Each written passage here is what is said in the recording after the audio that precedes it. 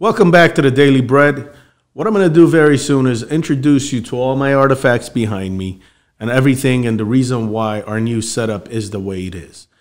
We are going through struggles and it's growing pains. We tried different things, it didn't work, some did, and we learned from our mistakes.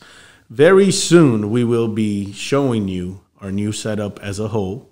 You'll be seeing our new guests here at the Daily Bread podcast, and we'll be introducing you to how to process podcasts, how to process business structures, and how to process small business opportunities. Now, the reason why I say how to process, a lot of people do not process. They want, they dream, they wish, they fantasize. Process it through, understand why and what it's going to take to get to where you're going. Because if you don't know where you're going, how are you going to get there? You need to have a destination and a clear path to get to where you're going. Stay blessed, like, subscribe, and comment, share, and spread the love. Thank you. Stay blessed.